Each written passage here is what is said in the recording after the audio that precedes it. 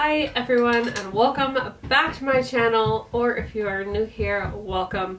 My name is Brittany and I'm also known as Shop Foxburrow on sites like Poshmark and Etsy and um, Instagram and here on YouTube. And so I have been absent more or less for the past month so hopefully you guys didn't miss me too much but we are back with another what sold video for May 31st to June 6th. So if you are new to my channel, um, I do like to do what's old videos. I try to upload them every Monday at 8 a.m. Eastern um, so that you can just sort of start your week seeing what is selling if you are going out sourcing um, or you know, you just want someone to keep you company while you pack orders, then it is a nice sort of casual thing to listen to while, you know, you're doing your work. And I primarily sell vintage, though I do sell some modern stuff. I'm not like, I live in New Hampshire, so I'm not like as aggressively in pursuit of like new or hip labels like someone in um, California may be, uh, I do live close to Boston and so I can travel there to find like nicer stuff but for the most part I do really well selling vintage and that is my specialty so if you are interested in vintage um, I would appreciate it if you would go ahead and hit the subscribe button and if you hit the bell notification you can get notified every time I put out a new video or go live. So I just want to thank everyone for giving me some space to take May off. I got so much work done and May was a really phenomenal month for me for uh, business and for uh, my sales numbers and for how much I got listed and all of the things that I got accomplished in May. So I'm in a really nice space and um, I'm just really happy with where I ended up at the end of the month. I did end up hiring a lister to focus on all of my modern listings. So I have passed off, um, you know, I still take the pictures and take the measurements and do the inventory, do the shipping, but I've passed off the listing portion um, to someone else to do for me. And so that really frees me up to focus a lot more on vintage and doing photo shoots and just making sure that my shop is looking great. So my huge overarching goal um, in, at the start of May was by the end of June I wanted to have 500 listings in my Etsy shop for vintage and I really honestly didn't think that I would get there but it was just sort of like a really lofty goal to shoot for. And um, right now it is June 10th I think 10th or 11th and um, I have 460 I mean yeah 465 so I'm really close and I do actually think that I will make it now. I think listing a lot of hard goods really gave me a boost um, and even though things aren't selling super quickly right now uh, I think that later on it's really going to pay off as it usually does. It just takes some time. When you have a slow season you can work more on um, listing, but then, you know, you have to wait for those sales to come in. So uh, I'm in a really good spot with uh, where my business is at and I'm really happy with it. And so thank you again for allowing me to take the time off of YouTube and uh, really focus on the reselling portion of like my business. So that has been really good. I also have something of an exciting announcement or something I'm going to try.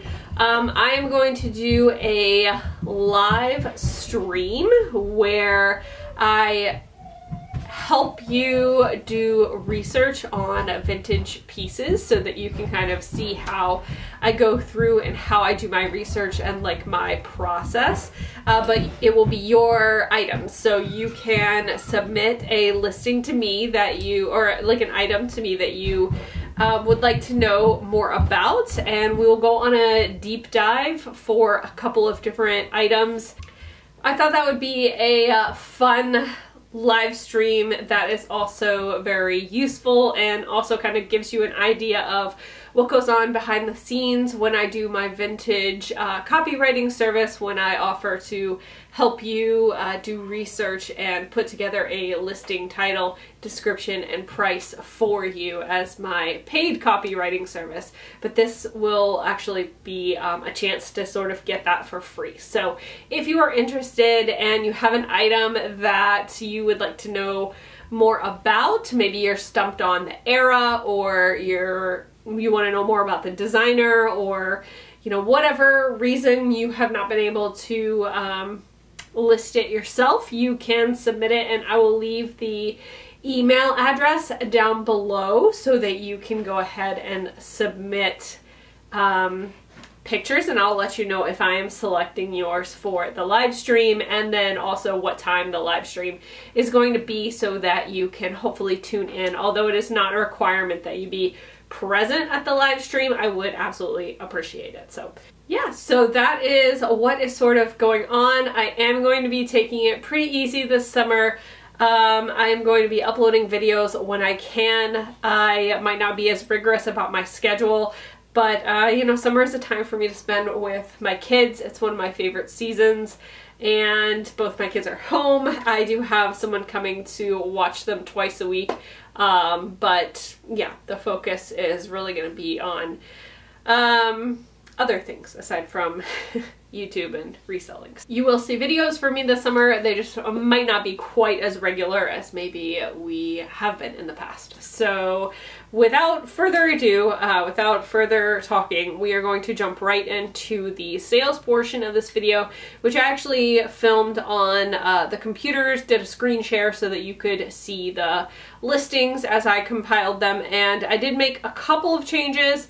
Um, I decided to only show items that sold for $20 or higher and so that kind of cut down on a lot of the uh, little things that are maybe not as important to talk about. So let's go ahead and see what's sold. Okay, so we are just going to jump right in to what sold um, over on the different platforms and we are going to start out with Etsy. So I'm only doing things that sold for more than $20 and um, our dates are May 31st, so the end of the uh, Memorial Day sale to June 6th, and we are going um, backwards. So this is a June 6th sale. This was a plus size dress um, that I actually purchased off of Etsy to resell. So I think I paid about $45 for this one and it sold full asking price for $145.99. Um, very, very pretty. If it were my style, I would have kept it, but the, I don't know, it just, it wasn't quite me. So I went ahead and sold that one. And then next up was this rayon, um, like caftan. Oh, actually, this was just under $20, but um, I almost got rid of this because it had a couple of little minor flaws, and I got it in like a mystery, well, not a mystery, but I got it in one of my wholesale lots. Um, but I decided to style it, and so it sold for $18.99 because it had flaws, and then they upgraded um, the shipping to priority, which is what made me think that it was more than $20. But um, they were happy, uh, you know, and they left uh, five stars with that purchase, so that was good. Next up was my Little People airplane. I actually posted this on Instagram because I thought that the shot came out so uh, cute. I don't know, you know, I had this like um, cloud paper. It was like a card mm, poster board, and I decided to do a background with my camera. I don't know why I love product photography so much, but I do. Um, this one sold on June 4th. Full asking price was $33.99. Um, there are lots of others of these on Etsy, so I don't know if they just really liked my picture like I did or what, but um, yeah, so that one was a happy sale. Next was something that sold on June 4th, full asking price of $33.99. And this was uh, like a satin floral pajama set. I had this as part of my holiday collection because nothing is more holiday than lounging about in glam pajamas. But um, it did take a while to sell. Yeah, I mean, uh, seven months or so. So um, it was a size medium, and I was I was happy to see it go at full asking price. But it did take a little longer than I expected to sell. The next sale was really like the peak. Like the sale is amazing. I was so happy to see this tapestry move. Um, I actually picked this up at, believe it or not, the Goodwill outlet, and I was not the first person to this bin. Um, but just nobody else wanted this tapestry. I mean, it does have some staining, um, but just a stunning hand embroidered um, Otomi tapestry. Uh, and I, I just could not believe that no one else snapped this up. You can see, like, the unique way that they embroider so that there's not a lot of stitching on the back, but then it just all comes through in these vibrant colors in the front. I'm just so cool, so beautifully made and huge. This puppy was like queen size bed huge. I mean, just a big tapestry. So um, this sold for $520 um, and headed off to New York. Oh no, I'm sorry, Nashville, Tennessee. So I am so excited to see if they love it. I do take returns, so there is a possibility that um, you know they've already received it, but there's a possibility they're still in their return window If that happens, I'll let you know. But if they do not return it, this will be my best flip to date. Um, and just a really great example of how everybody who resells has a different eye. And um, a lot of people did not pick this up, but I knew how beautiful and special it was. There's actually a dress. Let me see if I can find it for you. Um, from Anthropologie that clued me into what Otomi embroidery is. This is by, okay, Vanessa Virginia. Um, and this is just printed on fabric, but you can kind of see the diff- like the style of it. And so then I, you know, learned more about what Otomi was, and I um, knew it the second that I saw it in the bin what I was looking at. So, um, yeah. Next up, we have a Laura Ashley dress. So cute. Um, I bought this thinking that I might wear it, but it, it didn't really fit quite in with my wardrobe. I really do more of like the fit and flare style most of the time. Um, and so I decided to sell this one. I paid, I think, about 12 or $13 for this beauty, and I listed it for $75.99, and it sold full asking price on June 2nd, and it went all the way to Germany. So that was a fun find, and with all of my recent ones, I've been putting a video in, so I think that that's been helping them sell because they are honestly selling um, so quickly. All the recent listings that I've been doing. Okay, another recent listing. You can see I have video over here. This is actually a dress by Serengeti catalog, and it is a URL, and so it is like right on the cusp of like you know 2000s or like super late 90s but um, yeah it's just a really pretty cotton dress size 1x i got this in one of my wholesale lots as well but i really loved the movement of it. Sold for um, $45.99 minus $9.20 on my Memorial Day sale. So somewhere around $35. And my average cost of goods was about $4, 3 or $4 for that um, wholesale lot. This was something that I purchased on ThredUp um, back when the pandemic started. Sold for $30. The buyer was very happy with it.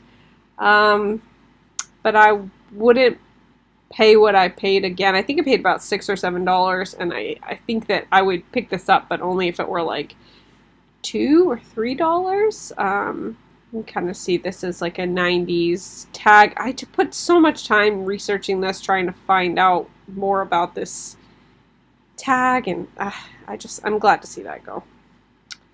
This one sold for, let's see, had it listed for $75.99 and they got a discount of $15.20 so it sold for about $60 this was something that i purchased from um, another vintage seller who was just like getting out of selling vintage, and I've been um, I bought a whole lot of her stock and I've been selling it off. Sadly, the buyer said it didn't fit in their shoulders.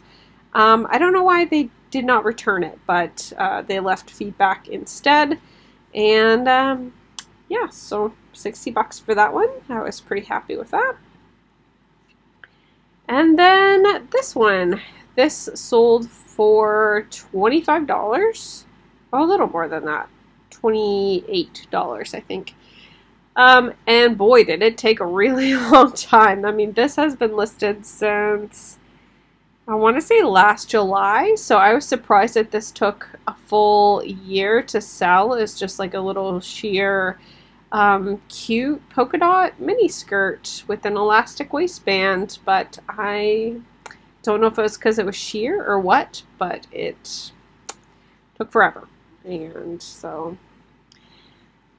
glad to see that go too. All right, so we're going to move on to Thrilling. They finally introduced a dashboard where you can just kind of like see your sales recently and um, you know the item ID and like how much you're getting paid out, which is really nice because before you really just you had to just trust them. so um, the first thing that I sold for this um, week, May 31st to June 6th, was on um, June 3rd, and that is these gloves right here. These were also from that vintage seller that I bought out a bunch of inventory. Just really like the cutout detail on these and they sold for um, $28 and so I got $25.20 and then the second thing that sold was this romper and very fun like geometric print romper. I'm pretty sure I picked this up at like a at Goodwill I think for six dollars. And this one sold for $43 and so I made $38.70 on that one. Isn't it nice just be able to see like exactly how much um, you got paid out? so over on eBay, I don't know what happened, but I just had a real dry spell um, that week and um yeah, I only had one sale over $25, and that was this London Times dress. I accepted an offer of, um, or no, someone bought it uh, at 20% off with my Memorial Day sale, so they bought it for $35.99. This was a piece from my Stitch Fix pallet. This person has been sending, like, I've been fighting about lowball offer.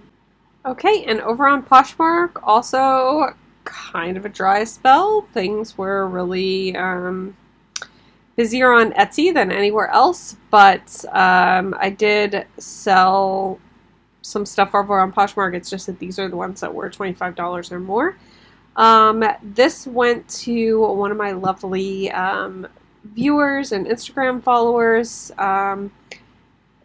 This was actually one of the most popular dresses in my Etsy shop, and uh, she sent me an offer for 25 which I accepted, but how cute is this dress? I just, I love this dress. Um, so I'm happy that it has a good home, and yes. This one was a Market and Spruce dress that I, looks like I had listed since October of last year. And so it's been listed a little bit. I think I had it listed around 38 or something like that. Someone sent me an offer for 28 and I went ahead and accepted that. This was from my Stitch Fix pallet. And then another piece from my Stitch Fix pallet, this 41 Hawthorn dress. Um, this was a size extra extra large. And yeah, not much to say about that. I think I had it priced a little bit higher, like 35 or something like that, and some maybe 40. Someone sent me an offer again for 28, and I accepted. So that is it for um, sales for May 31st to June 6th. Um, Etsy has definitely been the busiest for me. I am starting to get some sales on eBay, but honestly, not as much as I expected given that I am listing three items every single day of the week. Um, and so that's a bit of a surprise. And then Poshmark has kind of come in waves, but right now it's kind of slow. so, yes. Um, yeah, so I hope you didn't miss me too much, and I'll see you for my next What Sold video next Monday at 8 a.m.